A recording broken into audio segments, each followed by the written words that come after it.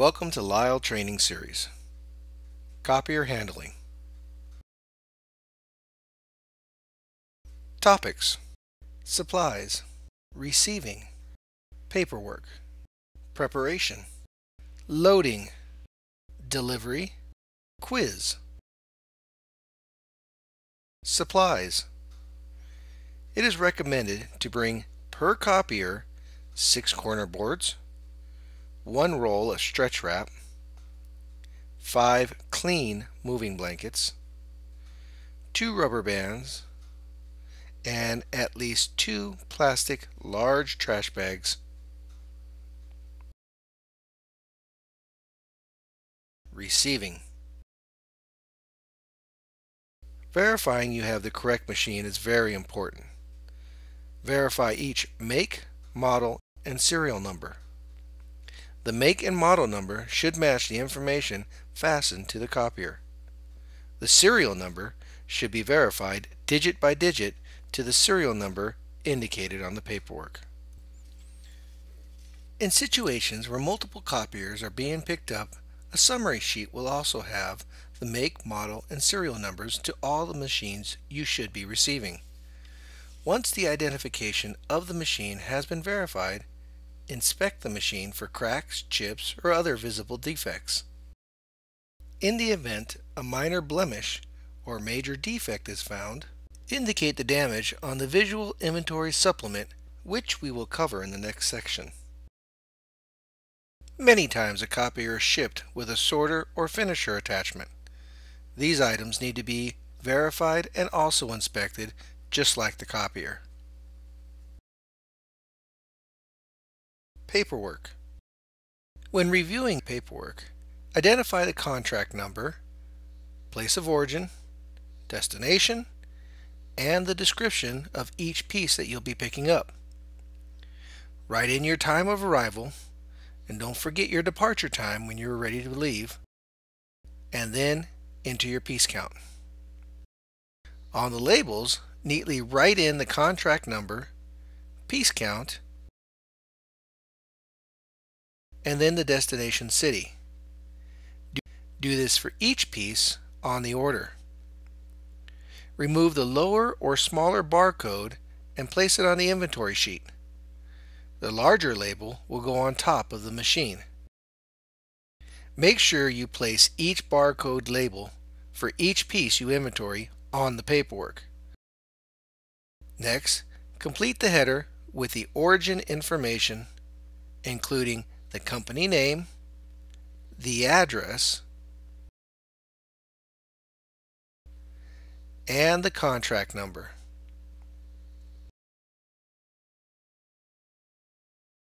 For the condition of the machine, either write in used copier or new copier and then the same with the finisher, either used finisher or new finisher.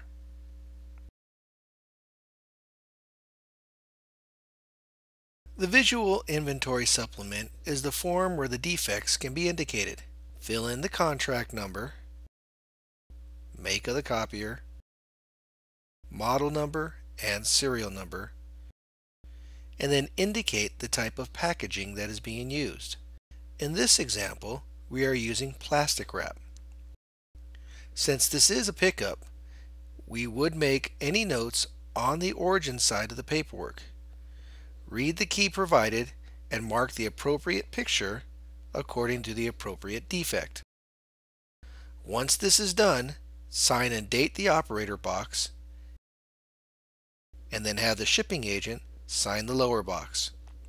If no defects are visible, write no defects on the paperwork. Preparation for transportation.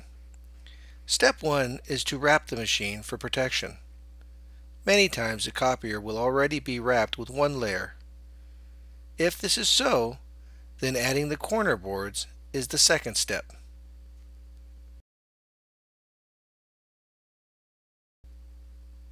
The third step is covering the copier with a plastic trash bag.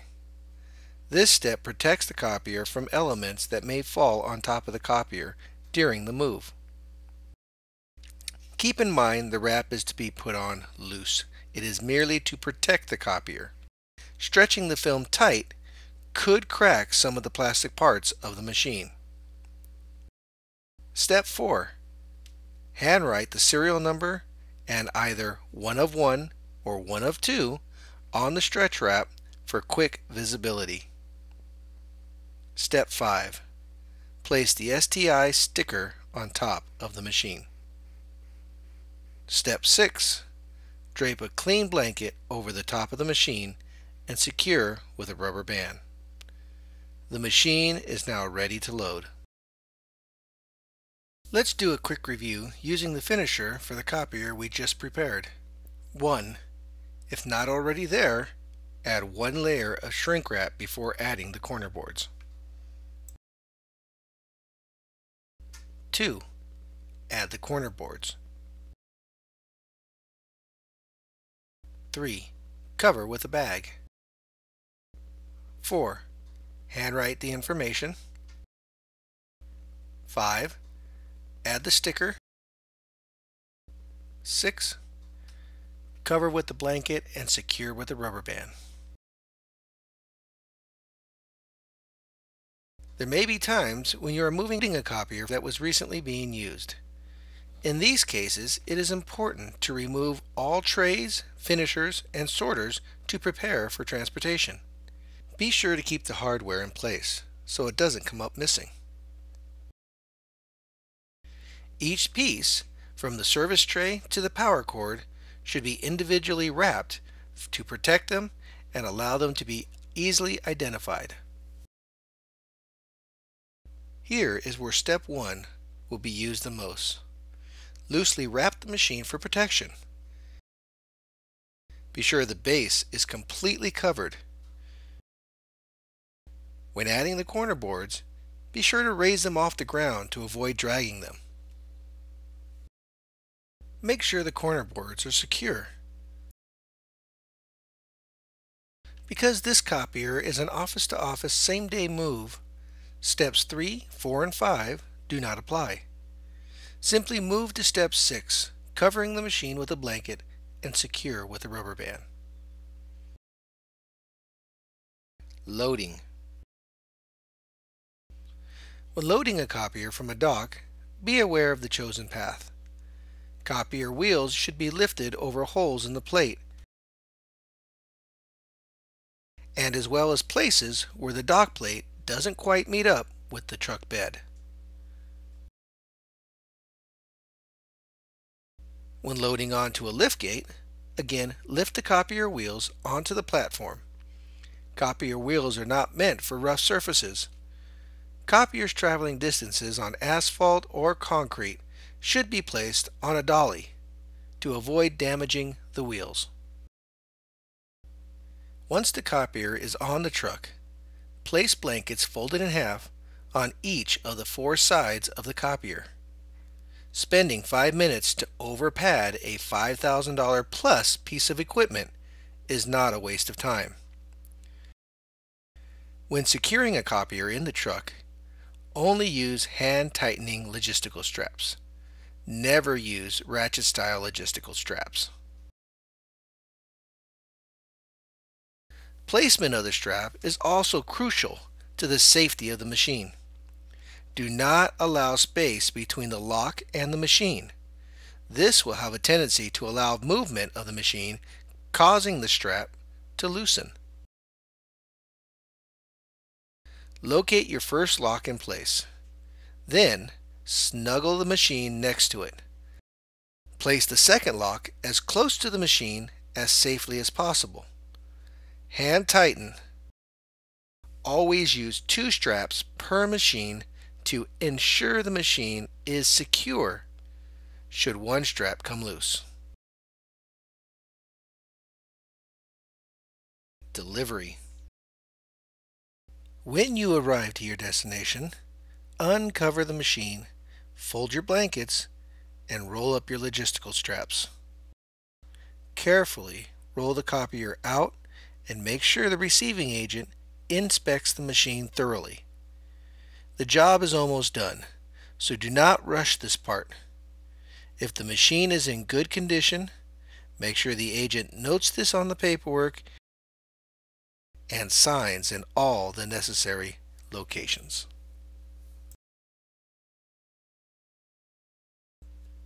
Quiz Question 1 What is step 1 to prep for transport?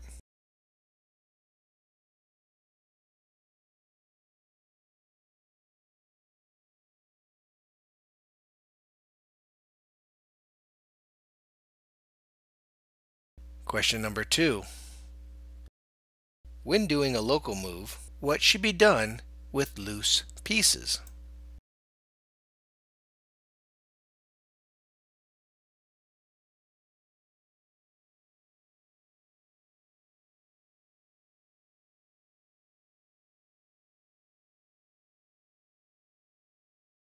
Question number three.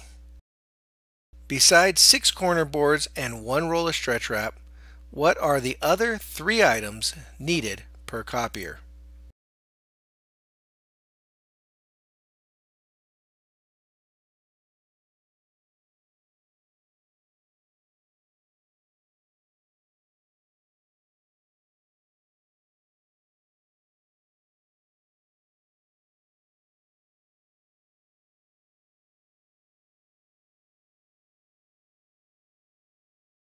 Question 4. What specifically should be written on each piece of equipment after it has been wrapped?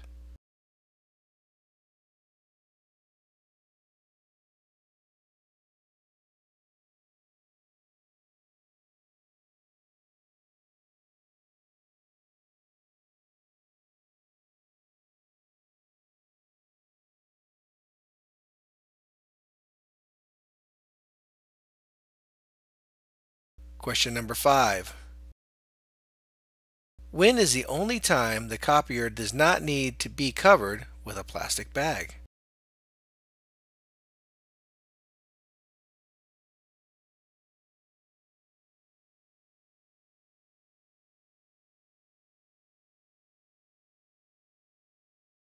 Question number six. Which style of logistical strap should never be used?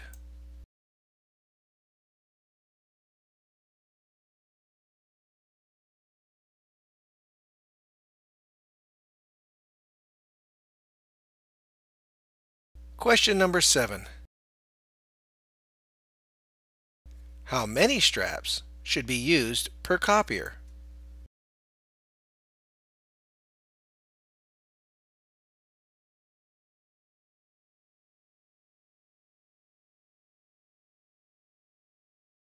Question number 8.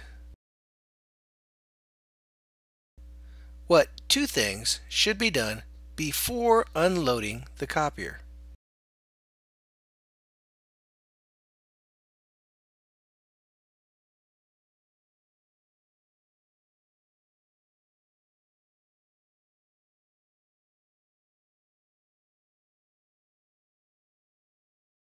Question number 9.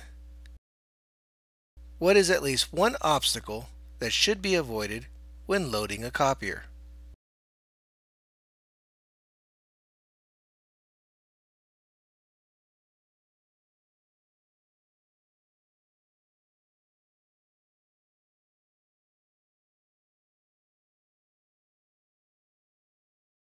Question 10. What are the three things that identify a copier?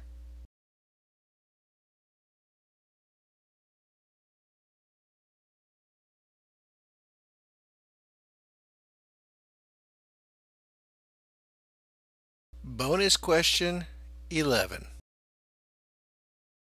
You will have 60 seconds to list in order all six steps to preparing for transportation.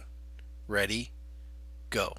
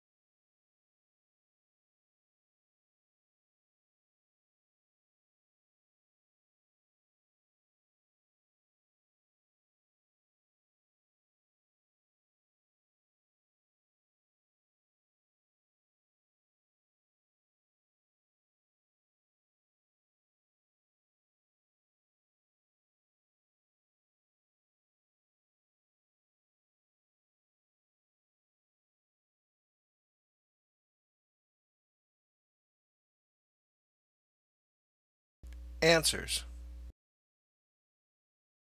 Question 1. What is step 1 to prep for transport? Wrap the machine from top to bottom with a loose layer of stretch wrap. Question number 2. When doing a local move, what should be done with loose pieces? Each piece, from the service tray to the power cord, should be individually wrapped to protect them and allow them to be easily identified. Question number three. Besides six corner boards and one roll of stretch wrap, what are the other three items needed per copier? Five clean moving blankets, two rubber bands, and at least two plastic large trash bags. Question 4. What specifically should be written on each piece of equipment? Handwrite the serial number and either one of one or one of two on the stretch wrap for quick visibility. Question number 5. When is the only time the copier does not need to be covered with a plastic bag? Only during a local or internal move can you skip steps 3, 4, and 5. Question number 6. Which style of logistical strap should never be used? Only use hand tightening logistical straps. Never use ratchet style logistical straps. Question number 7. How many straps should be used per copier?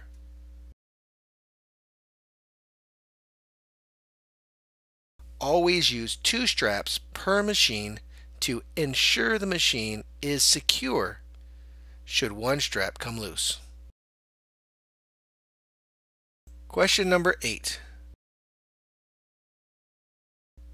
What two things should be done before unloading the copier? Fold your blankets and roll up your logistical straps. Question number 9. What is at least one obstacle that should be avoided when loading a copier? One answer is to lift over holes in the dock plate, and the other answer is where the dock plate does not quite meet up with the truck bed. Question 10. What are the three things that identify a copier? Verify each make, model, and serial number.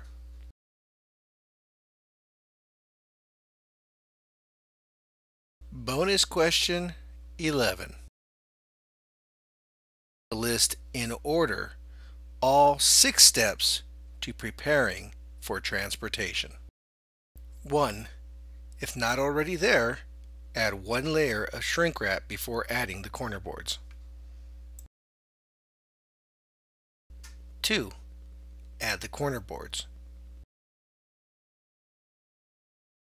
3. Cover with a bag.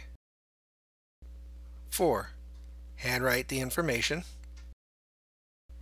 5. Add the sticker. 6. Cover with the blanket and secure with a rubber band.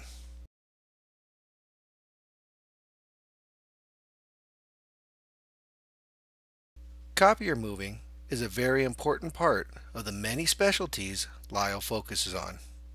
Every copier is the most important piece of machinery you will ever touch on behalf of Lile. Follow these steps to the letter every time and you will avoid unnecessary damage and misshipping of wrong copiers. No mistakes is not just a Lile goal, but it is achieved when our representatives know exactly what they are doing and how it should be done every time.